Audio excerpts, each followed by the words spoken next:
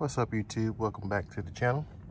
And today I'm going to try my best to uh, put this seat back together for my little brother. Um, it's a Dodge, well my bad, a Ram. And uh, what I'm gonna do, I'm gonna sew it, but with a twist. I know I can sew it, but I got a feeling if I sew it by hand like I plan on doing, that it will come right back apart.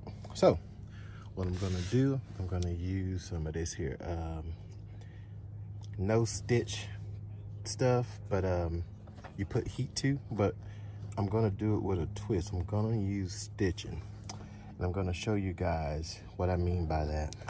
And what I'm using to sew this thing up is a, a Dollar Tree sewing kit.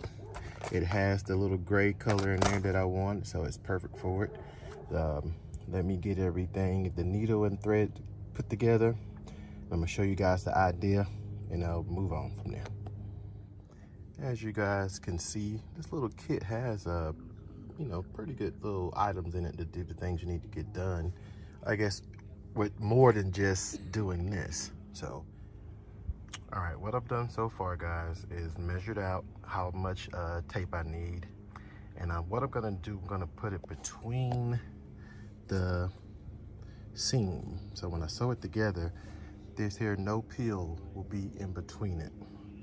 So when I put the heat on it, I should get a little bit of the adhesive on the outside also. That is the plan. Like I said before, I could have easily just stitched this up, but I had a feeling jumping in and out of the truck would have tore it right back up. So I'm hoping this would give it a little bit more stability, a little bit more strength to it to uh, hold together. So let me get this thing sewed up, guys, and uh, we'll go from there. All right, guys, I'm about halfway through with this thing. And uh, what I didn't tell you about the uh, peel and stick, it's like a two-sided uh, adhesive. So what I'm doing, I'm putting it on both sides, like I said before, and that holds it. And then I'm going through, and then I'm gonna get my heat gun and try to put this together and hope that will help it stick together a little bit harder than just sticking it, uh, stitching it like I've been doing or like I could have done without the two-sided tape. All right, guys, let me finish up. All right, done with all the sewing. So what I'm gonna do now is use my hair dryer here. Well, a hair dryer, not mine. And uh, heat up the two-sided, because that's what it's used for. Um, also to add guys or i should have told you guys in the beginning this will not be a professional looking job a pretty job but it will get you through until you can get to the professional. So let me heat this up and uh, see what it looks like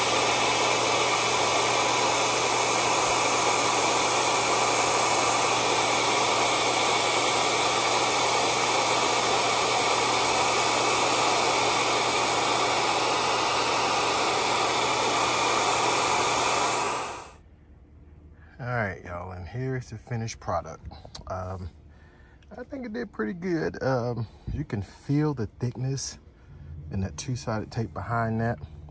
That was my main goal in this whole DIY, I guess you can say. I could have did a lot of things better or more, I guess you can say, but it wasn't about that. It was all about trying to show you guys the cheap and effective way to get this done until you can get to a professional. Now, I think I got this in Walmart for $2 or something like that. And the sewing kit, like I told you, out of Dollar Tree for a dollar.